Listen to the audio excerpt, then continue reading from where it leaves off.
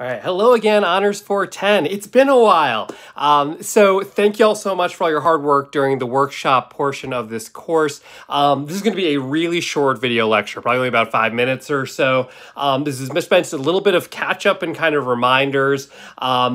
Participation in the discussion below is not required. So um, I'll leave it open in case there are questions or things people wanted to say that might be helpful for the group. Um, but but know that you're not required to participate. Everyone gets uh, participation uh, and engagement credit automatically for today's class. Um, so the things I wanted to touch base on are um, a reminder that you should be working on your revised draft. So that due date's going to be coming up very soon.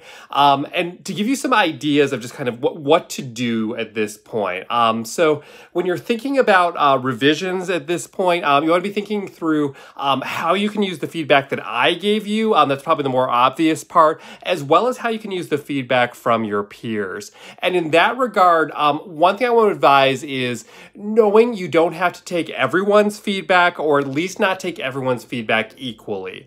Um, when you're looking at the, the comments that you got during the workshop process, um, you want to be looking for trends, as in, um, if just one person is saying something that seemed to kind of miss the point of what you were going for, you really don't need to take that advice. Um, but if a whole bunch of people are telling you the same thing, or at least pointing out the same issue, um, it's kind of hard not to listen to that at a certain point, right? So um, even if you don't entirely agree with what people are saying, um, if people are all kind of calling attention to a specific scene, a specific page, a specific choice, um, you don't have to take their advice on how to fix it necessarily. Um, but you do want to be thinking about um, what can I do to address this? If clearly something isn't clicking with a high volume of, of you know readers who are pretty smart people.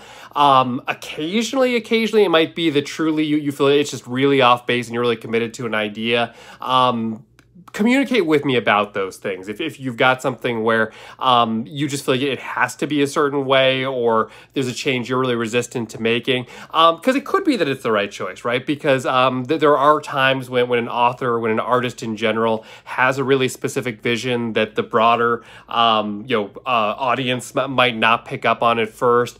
Uh, I, am open to that, but but again, th thinking through that, usually if a bunch of people are saying the same thing, uh, that can be a cue that it needs some sort of attention, some some way of addressing that. Um, but look through all of that feedback. Um, and similarly, it might be that you find some diamonds in the rough of feedback where um, you know just one person says it, um, but it really resonates with you. And so don't be scared to take that, right? That that could be useful feedback just from an outside source. Um, so uh, otherwise, things you can think about for, for revision and things I'll be kind of looking for. Um, again, with the revisions, the biggest thing I'm looking for is that you've clearly invested effort. You've clearly made an attempt to address some of the feedback from myself and from your peers. Um, so things you can experiment with include um, structure of your story, right? Um, th things in terms of um, is it told in a straightforward linear fashion? Are there flashbacks? Um, are there um, changes in point of view? Things along those lines. Um, sometimes playing with those things can, can open up a story, and at minimum will, will certainly demonstrate that you've put considerable thought and effort into your revision. Um, things with the order the story is told in. That, that some of that references back to flashbacks, as I mentioned earlier. Um, but you know, do should we play with putting scenes in a different order, either by playing with with kind of the time frame and, and how the story moves, um, or even chronologically, mo moving certain events up in some stories uh, can make a really positive difference. Um, considering the point of view the story is told from, um, is it first person, is it third person, is it coming from the right uh, first person, uh, if that's the case, um, sometimes that, that could open some things up.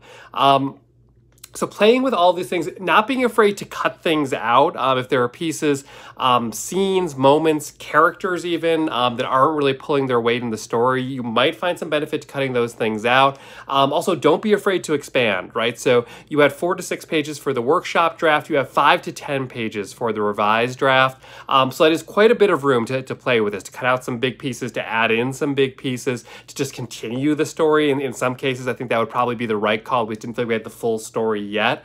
Um, so you take advantage of, of those opportunities. Uh, and also remember, you can include a process memo with this. It's not required, but if you did want to include up to a page where you just kind of address uh, what choices you made and why, that, that is all fair game. But uh, I encourage you to refer back to the original prompt for the assignment. Remember the uh, workshop draft, workshop uh, comments or discussion, and uh, revised draft are all included in the same prompt there. if I remember, I will include that PDF in this discussion for easy reference, but if not, just know it is in the assignment folder as well. Um, but okay, and then with all that, one other note I wanted to make for today is just on the last day of class, I will give the opportunity if you would like to share your revised draft with the class, um, just to uh, participate in the discussion and include um, an upload of your file, of your revised draft. This is completely optional, no credit attached to it, no extra credit attached to it. Um, I know sometimes students make really bold changes or big expansions or whatnot um, and find that, that they're, they're proud of it. They want to share it with their classmates or generated a lot of discussion and big questions that you want to kind of resolve for folks. Um, so please feel free to share that. Um, but otherwise, um, if we were meeting in person today, um, this would be primarily a work day. So where I'd say bring your laptops, bring your notebooks, whatever you use to um, to compose uh, and, and take the time here and ask questions, work with your peers if you need to, so on and so forth. So similarly, I'm giving you today otherwise. There was no reading assignment for today, um, no required participation in the discussion. Uh, please use this time to your advantage to apply to the revised draft, especially for those of you who are relatively late in the workshop process um, and could really use that time to your benefit. But okay, I'll be back next time um, with a more traditional video lecture, probably still a relatively short one, um, but to carry on with the assigned readings on the syllabus, we are back in the McBee book um, with the story. Uh, let me consult with my notes here for a moment. I believe it's R Ruth's Red Ale that we're up to at this point. So uh, we'll go ahead and discuss that tomorrow. All right, thanks everyone. I'll see you then.